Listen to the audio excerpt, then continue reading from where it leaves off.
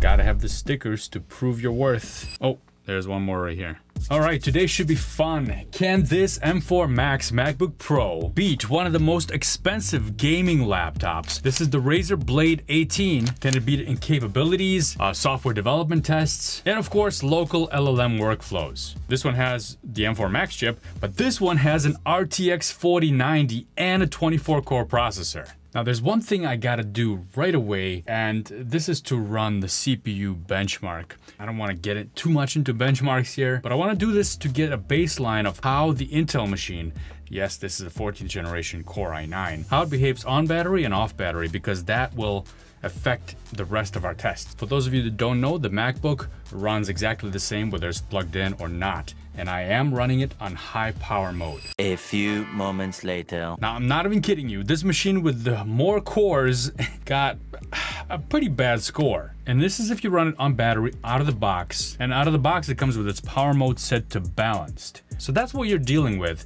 If you're gonna be working on this machine out of the box on balanced mode, you know, it's a laptop, so you're gonna wanna take it places. You're not always gonna be plugged in, but your performance is gonna struggle quite a lot. Let's set it to best performance plug it in, and we'll see if that improves things a bit.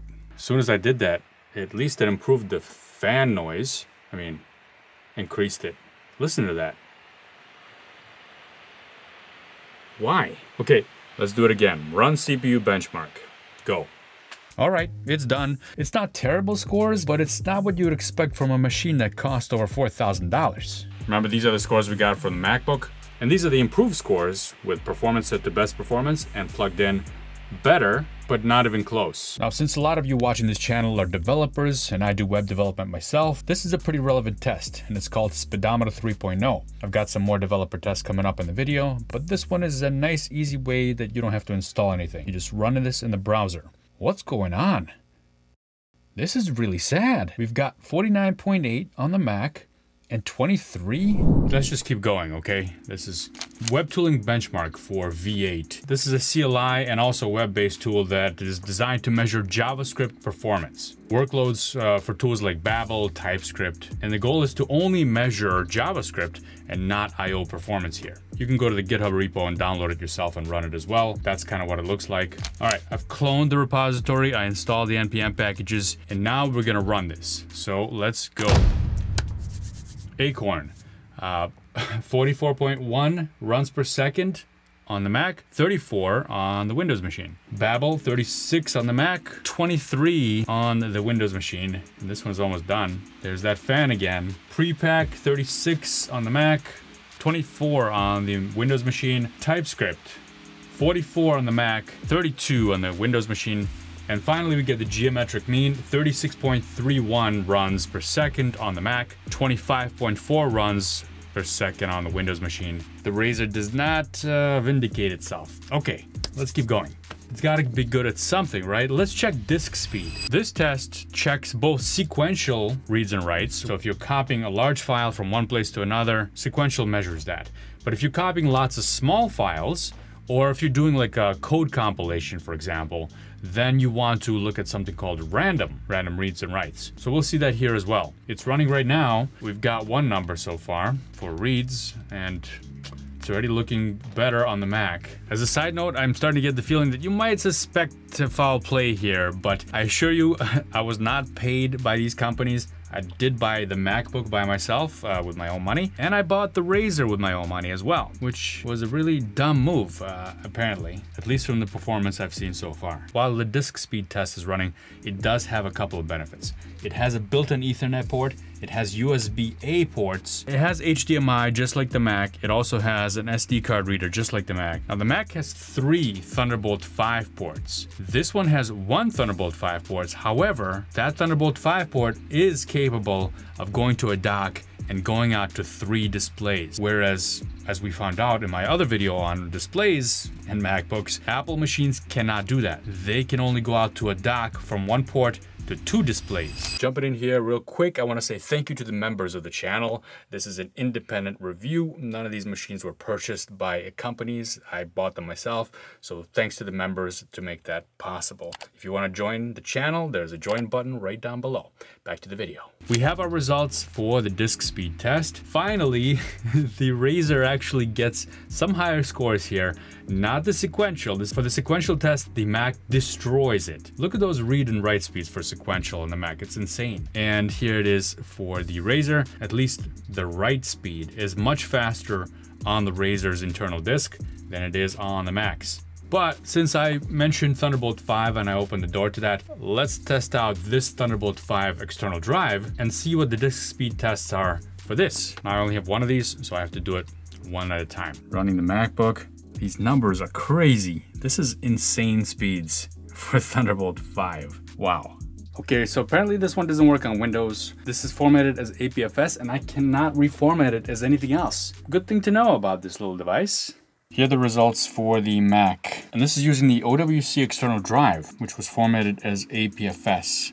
Now I'm gonna use a drive that's formatted as exFAT. Let's see if that makes a difference. So here's the external drive I'm using. Ah, it's hot. There is a drive inside there. It's a Samsung 990 Pro. This is a dock slash Thunderbolt 5 external NVMe enclosure. Wow, the disk speed test is running and this is at 46 degrees. That is pretty high, uncomfortable. And we're finally done, but wow, okay, I take back what I said about the Razer implementing Thunderbolt. Well, uh, it might work with monitors, but not so much with external hard drives. So the sequential read speed is pretty good. I can't complain about that because that's higher than uh, Thunderbolt 4 ever was. But look at the other numbers. The random read and write speeds, pretty terrible. What this means is copying any data to the external drive is going to be pretty slow. And if you're using your external drive to do any kind of code compilations, storing your code on the external drive, some people do that, it's also not gonna be great. Moving on to some compiled projects. I keep a repository of my tests that I do on these machines for this channel, and uh, I've recently created a new one, uh, a large .NET project. So it's a compilation project, but how do you make a really large compilation project in .NET? Well, you kind of have to fake it by generating a lot of classes and namespaces, and there is a Python program that's going to generate what is that, 100,000 namespaces and classes, and then compile them. And I call this aptly large project. We're on .NET 9 on both of these. So let's do time, run benchmark, and I wrote a shell script for the Mac version and a PowerShell script for the Windows version. Now in Windows, we don't do time command, we do measure command.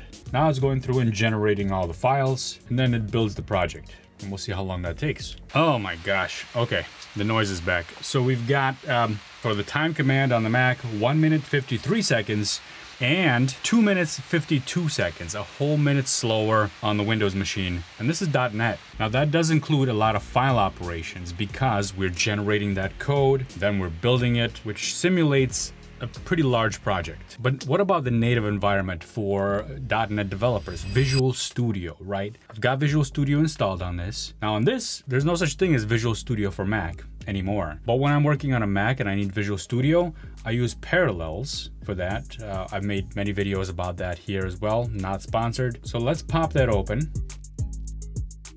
Okay, I've got Windows on there now and it just started up. It's very fast. Now I'm gonna start up Visual Studio on both of these. So let's go.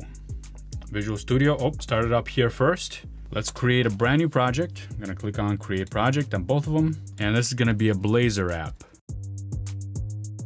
It's fine, next. And let's click create, boom. Which one of these is gonna create the project first? This one's done. There's the editor. You can edit the code now and run it. This one is now is done. Folks, we're talking about a virtual machine running Visual Studio faster than this brand new Intel Core i9 machine.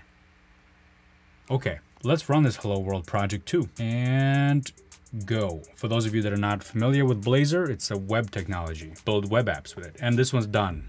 It's running the web app. What is this one doing? What are you doing? it's doing something, right? I mean, yeah, it's building it, okay? It's still doing it. There we go. Wow, this is insane. I don't know if my unit is just bad, because how can Razer charge this much money? I don't know. So that was a .NET compilation. Let's do some interpreted code, which is uh, Python is a good example of that. And I have a program called Mandelbrot. It's the Mandelbrot algorithm. Mandelbrot was a mathematician that created all these fractal patterns. And this program is used to simulate that. Got Python version 3.12 on both of these machines.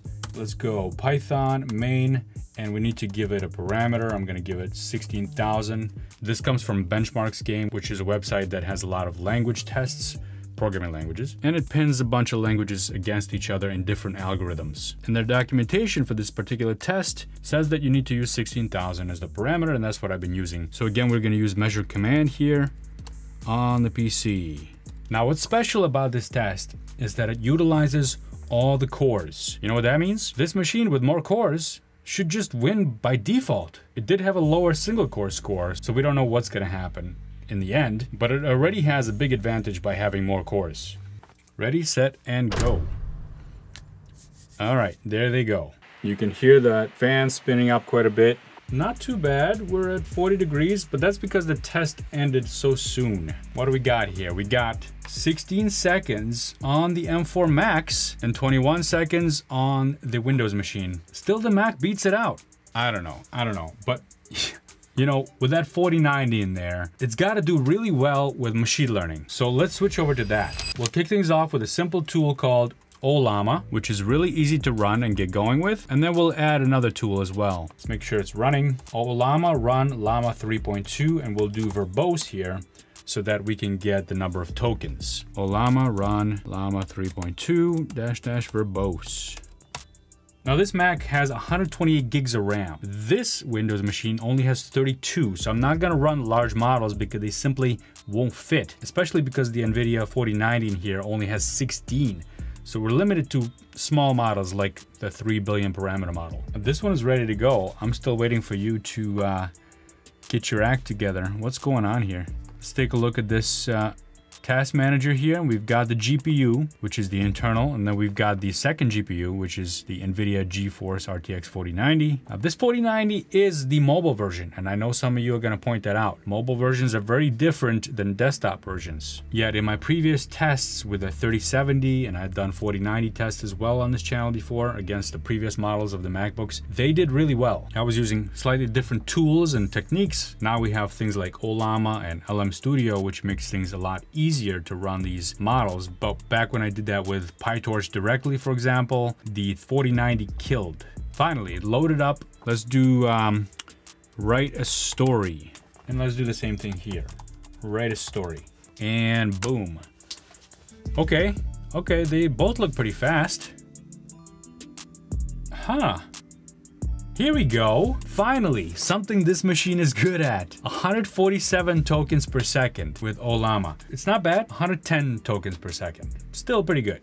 Finally, some redemption for this machine. And uh, you can see that that did run on the GPU. You can see a spike right over there on the RTX 4090. That was the span of where that model ran. You can also see that this model is taking up 3.6 gigabytes out of the 16 dedicated GPU memory that's available. We also have a tool called LM Studio, which makes it very convenient to run these LLMs as well. And you have a little bit more control here of how you prepare it. For example, I can go into developer here and go to LM runtimes and I can select different runtimes. For example, the GGUF type of models run on Metal, but also Apple Silicon can run MLX models. MLX is a framework that's designed for Apple chips specifically to be faster and be more performant. Whereas here we have CUDA, which means this running on the NVIDIA GPU. But you can also select CPU, Llama CPP, or Vulkan, which is gonna run on the integrated GPU. But we want the fastest possible performance, so we're gonna use CUDA here. Let's make sure that we're using the same kind of models on both of these so it's fair. Here is an example right here. Llama 3.2, 3 billion instruct, same quantization, Q4 underscore K underscore M, and it's a GGUF variety. They're exactly the same model. So let's run that one. And I'm gonna offload everything possible to the GPU on both of these machines. Let's load that model. Why does it load instantly on the Mac, but it takes forever to load here on the Still not, not even loaded. Ah, I just find anything to complain about, don't I? So what's happening right now is this model, it's being loaded into memory. You can see that GPU spiking right there. And I can tell you what my theory is. This is the difference between having unified memory versus memory that's for your system on the Windows machine versus memory that's for your GPU, which is called VRAM. So here, the model is instantly loaded and is instantly available because that memory is shared, so it's already available to the GPU. Whereas here, it's gonna have to copy that model first from the system memory to the GPU memory before it's available and can run it. And that takes an initial hit. But once you're there, it should be fast. Write a story. Write a story. And boom. I don't know. This is this is a close one. They're both going really, really fast. Okay. That one's not done yet. what? Okay. Uh, wow. First of all, the Mac was faster to first token. We're at 0.10 seconds to first token, whereas this one was 0.25 to first token. That's fine. But where I'm really surprised is the tokens per second here. For this particular model, we're 121 tokens per second on the Mac and 89 tokens per second on the PC. Were we using the GPU? Let's let's do that again. Write story. And I want to make sure that this is in fact using the GPU. Yes, it's fully using, well, I don't know about fully, but it is using the GPU. Sometimes jumping to 100%, but there's this weird spiking going on. I don't know if it's the implementation, the way LM Studio interacts with CUDA or what. Not ideal. 94 tokens per second, so better, but nowhere close to 121. Let's run this one again just to be fair. Maybe it's gonna come down a little bit. 104, it came down a little bit. So, wow, it's still beating the NVIDIA RTX 4090 Mobile. Let's also try that MLX version here. I have that here as well, which is also Llama 3.23 billion, but it's designed to run on Apple Silicon specifically. Let's do write a story. 172 tokens per second. Wow. that is a big difference. Holy cow. All right, okay, maybe it's not a fair test. Ah, maybe I just didn't know what I was getting into. You know what? This MacBook is obviously way too powerful. Um, let's try something less powerful. Ah, this one. It's a 14 inch M4 Pro MacBook Pro. So M4 Pro has uh, about half the amount of memory bandwidth than the M4 Max. So here I've got the MLX Community Llama 3.2, 3, everything looks pretty much the same. Let's run it here, write a story. Boom. It's going pretty fast, pretty fast, but is it gonna beat 94 tokens per second of this uh, Razer? 103 tokens per second? Even the M4 Pro beat it? Come on. This was the MLX version, of course. So yeah, even this one beats out the Razer. Now you heard me mention memory bandwidth, and that's a very important thing when it comes to machine learning. If you're interested in learning more about that, I got a video specifically about that right over here. Anyway, thanks for watching. Hopefully all you Razer fans are not offended. I'll see you in the next video.